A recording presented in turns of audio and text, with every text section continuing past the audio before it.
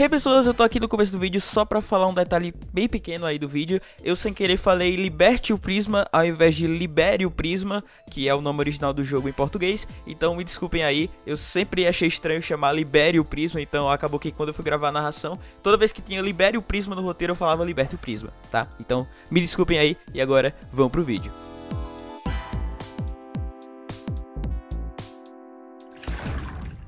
E aí galera, beleza?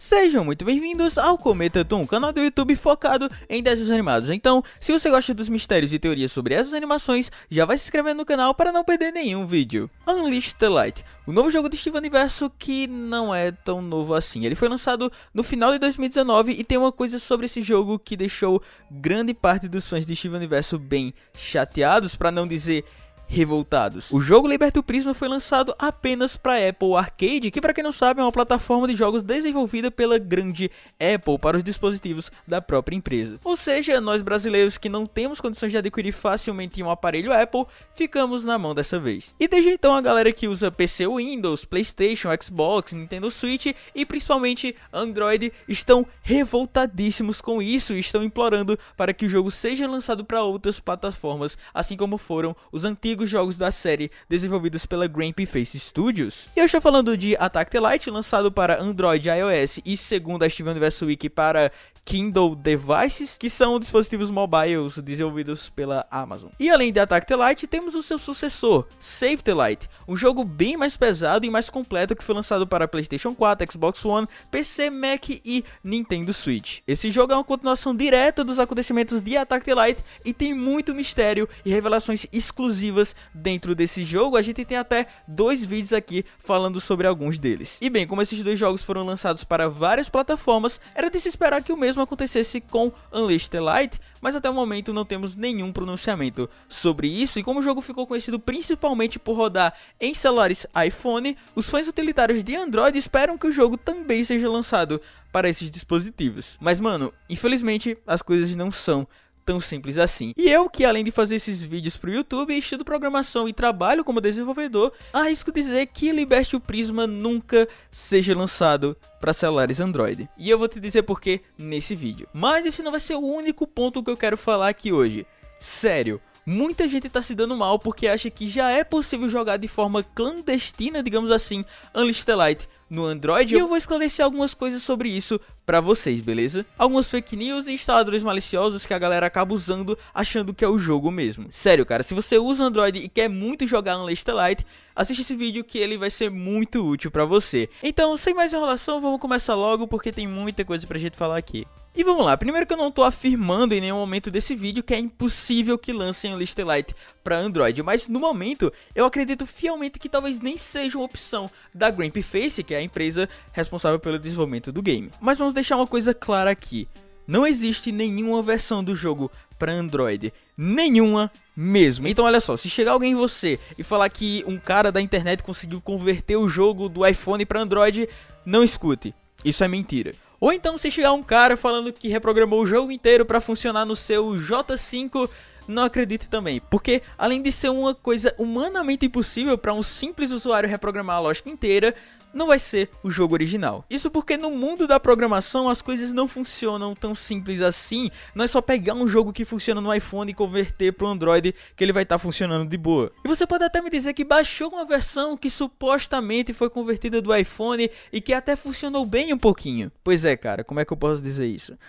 Talvez seus dados tenham sido roubados. Mano, vocês podem até não saber, mas existe um mercado bem grande que gera um lucro enorme só com troca de informações dos usuários. E assim como todo comércio, existe a forma legal de se obter as informações, coisas que a Google, o Facebook e até a Amazon fazem. Pois é, se você não sabia, essas empresas trocam as suas informações com grande frequência entre elas. Mas apesar delas obterem suas informações e venderem elas, tudo isso acontece de uma forma bem segura. A internet hoje em dia funciona dessa forma. Os anúncios que aparecem para você são lançados por causa das suas informações que você entrega de forma voluntária, você que está entregando de graça a essas empresas. São os famosos termos de uso. Pois é, nesses lugares aí que você encontra as condições falando que esses dados serão utilizados para futura negociação ou coisas assim. Mas cara, como eu disse, esses são os dados que são vendidos e comprados legalmente, mas também existe a venda de dados ilegais, que são obtidos por meio de aplicativos maliciosos, programas craqueados e etc. Esses são chamados de malwares e são implementados discretamente nos seus dispositivos. E sabe o lugar onde tem muito desses? Pois é,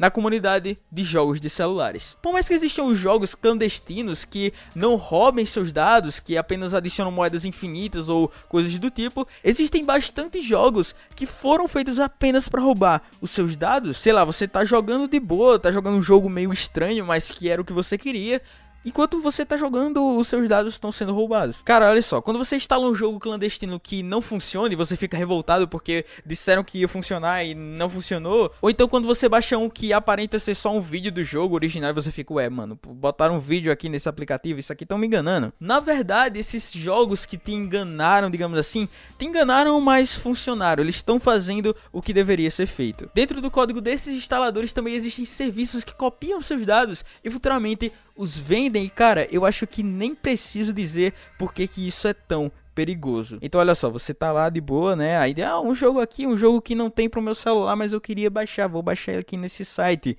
Eu instalei o jogo, ué, não funcionou. E agora, o que é que eu faço?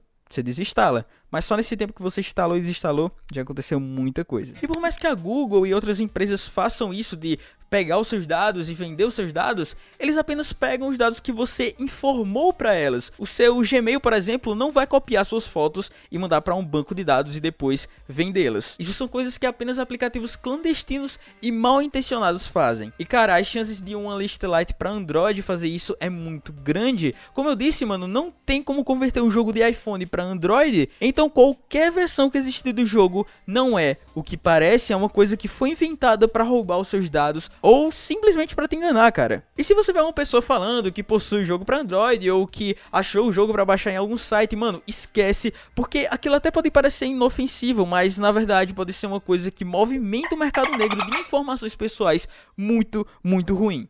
Acho que já deu pra entender que essas versões que existem do jogo não são nem um pouco legais, né? Eu realmente queria que existisse alguma forma fácil de conseguir transformar o jogo que roda no iPhone para uma versão do Android, principalmente no caso de Unleashed Light, que é um jogo que eu quero jogar muito, mas infelizmente isso não é possível e talvez essa vontade que nós temos de jogar o jogo nunca seja suprida. Infelizmente, isso está muito longe da nossa realidade, até porque em um país que o iPhone mais barato que roda o jogo custa 3.400 reais, a chance de jogar um jogo pelo menos uma vez na vida parece muito, muito distante. Muita gente já me pediu para fazer live jogando esse jogo, assim como outros youtubers já fizeram e tudo mais. Mas mano, eu não tenho a coragem de comprar um iPhone aqui no Brasil e fazer live com ele ia ser bem complicado. A melhor opção seria comprar um MacBook para isso, porque isso me ajudaria para fazer as lives e com o meu trabalho de programador, porque MacBooks são perfeitos para programar e essas coisas. Porém, cara, isso tá tão distante que eu já aceitei que isso será impossível. O que resta para nós é realmente esperar esse jogo sair para outra plataforma que, na minha sincera opinião,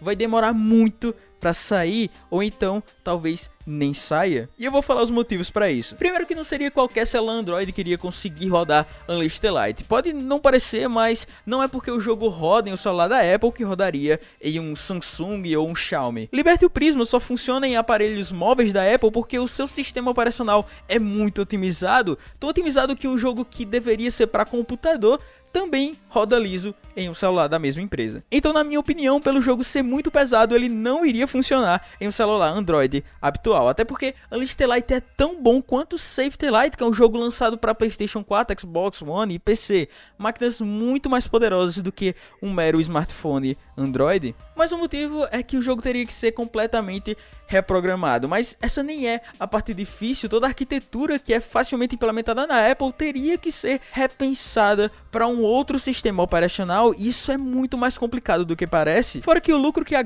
Face ganharia com o aplicativo no Android não seria lá grande coisa. Eles perderiam meses desenvolvendo para celulares Android e no fim não ganhariam quase nada comparado com o Apple Arcade, que é um sistema de jogos multiplataforma. Então eles fizeram o jogo uma vez, eles só programaram o jogo uma vez para Apple e ele funciona em celulares, notebooks, PCs e até em televisões da marca. Na verdade não é PC, né? É Mac, tem que chamar de Mac, tá? OK. E já no Android eles perderiam muito mais tempo reproduzindo o jogo e apenas rodariam em celulares. Eu acho que, infelizmente, a conta não bate. E isso eu tô desconsiderando completamente as questões burocráticas, porque muito provavelmente existe um contrato que prende o jogo à Apple. Isso é uma estratégia muito comum nas plataformas recentes. Olha só, cara, tá vendo esse jogo aqui? Ele só tem para Apple, só vai ter para Apple, e se você quiser jogar, você tem que ser Apple.